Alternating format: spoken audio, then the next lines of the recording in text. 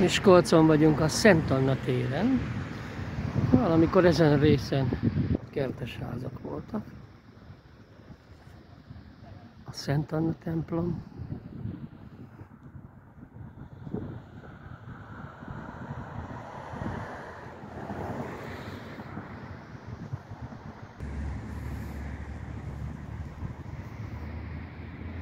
Igen. Egy elkóborolt karácsonyi fenyőfa.